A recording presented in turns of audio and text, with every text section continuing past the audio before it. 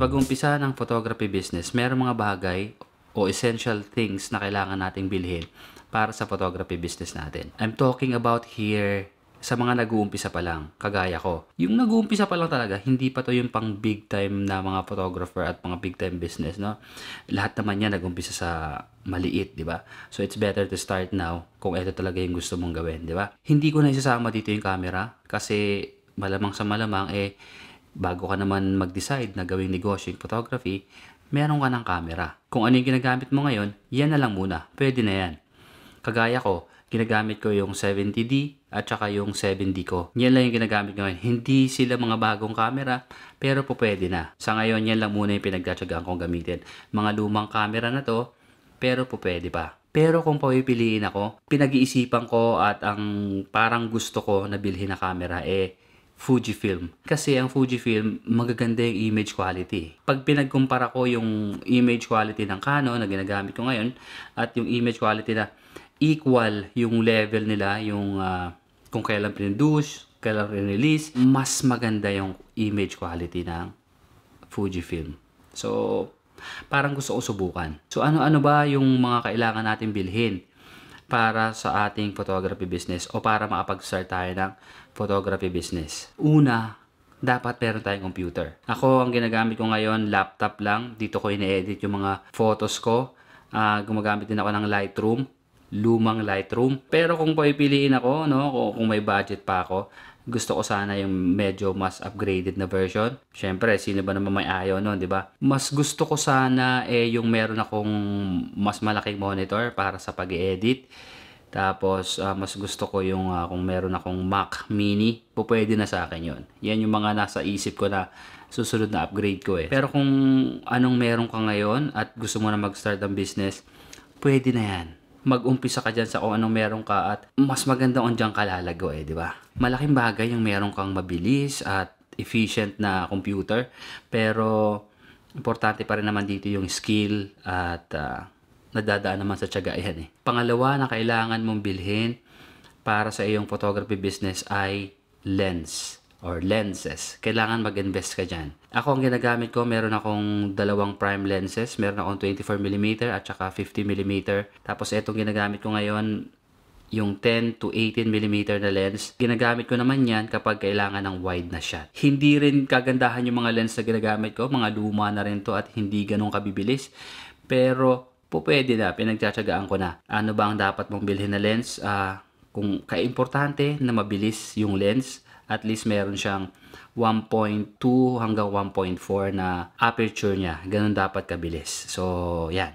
Kung mag-invest ka sa lens, dapat mabilis. Maganda rin yung mga prime lenses, no? Nab- nabanggit ko na yan dito sa isa sa mga video ko. Kasi mas maganda yung image quality kapag prime na lens yung gamit mo. Ang mga lenses na dapat hindi mawala sa iyo, ay syempre, 50mm, meron ka dapat niyan. 85mm, at saka syempre dapat meron kang yung wide na lens. At saka kung meron kang pera, huwag ka nang bumili ng DSLR. Mirrorless na lang. Kasi kahit ilang shots pa yan, burahin mo na lang later on.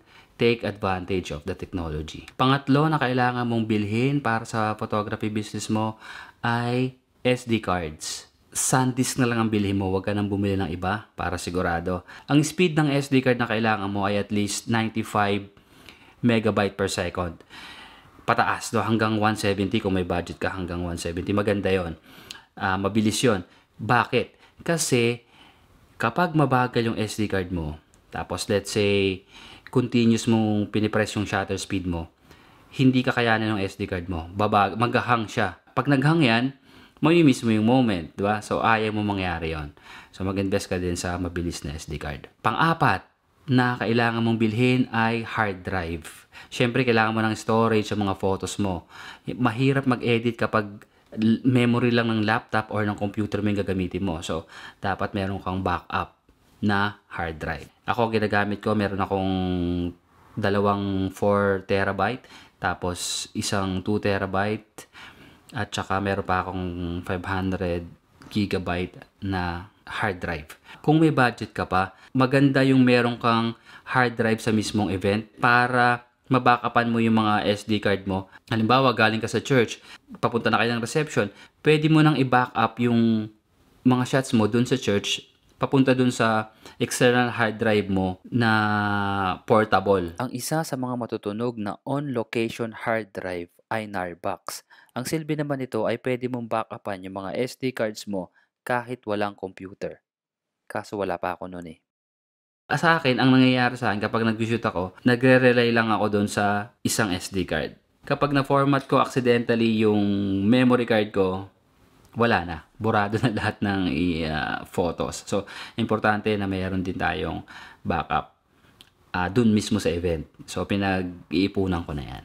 Pag lumaki na yung business, di ba? So, papunta tayo doon. Panglima na dapat bilhin natin sa ating photography business ay lights, flash. Kakailanganin naman natin to kapag uh, madilim na yung scene or katulad ng kapag party na. So, kailangan mo ng flash niyan. Sayawan, yan. So, importante na meron tayong flash. Ako ang ginagamit ko ay yung Yungnu. Meron na rin akong ginawang video tungkol dyan.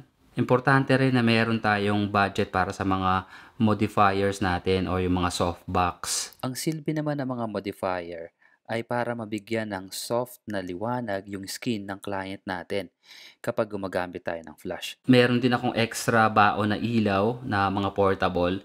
Sinacharge ko lang siya tapos dadalhin ko na doon sa event. Para at least meron akong backup. Pero nung huling event ko, hindi ko yung nagamit. Ay nako, pasaway. Importante na gamitin natin yung mga flash natin sa event natin. No? Kaya natin dinala yon dahil para gamitin, hindi para ilagay lang sa bag at na hindi gamitin. Pang-anim na kailangan natin bilhin ay camera strap. Okay, ako, ang camera strap na ginagamit ko ay yung galing dun sa DJI na drone ko.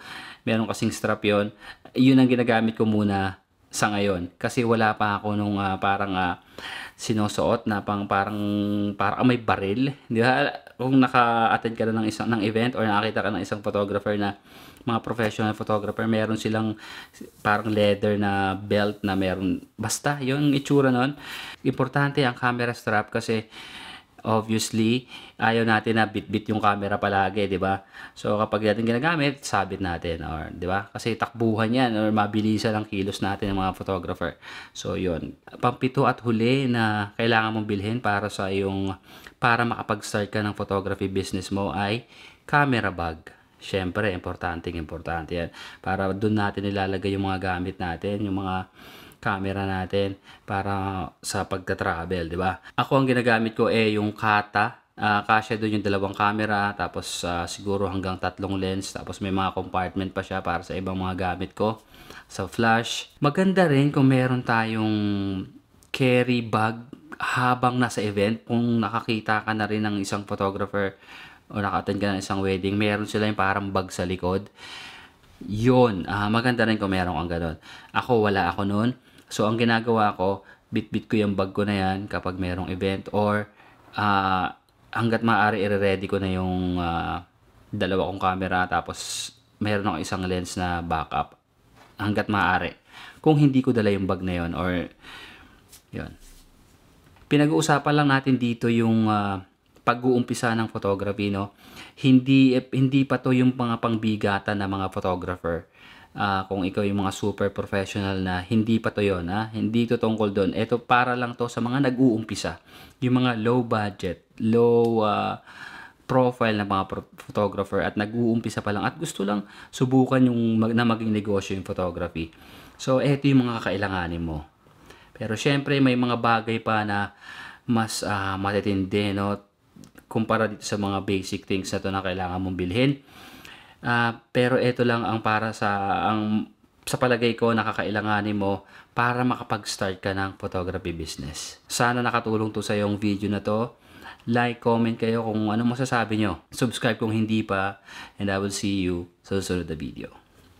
Bye-bye.